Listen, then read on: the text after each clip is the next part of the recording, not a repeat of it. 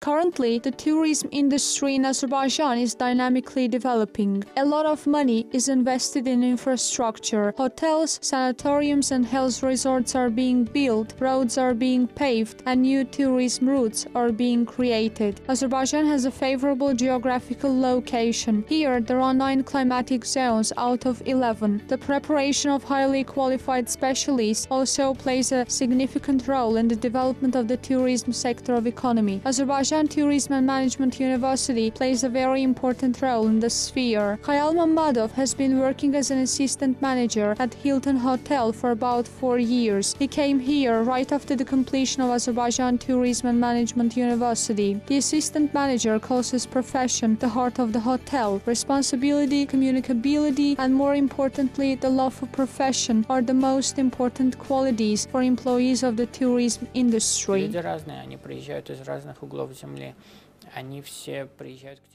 Different people come from various parts of the world. They come with different requirements. Most of the time my work is the heart of the hotel. Everybody knows the number of the reception desk. They call you and express both satisfaction and dissatisfaction.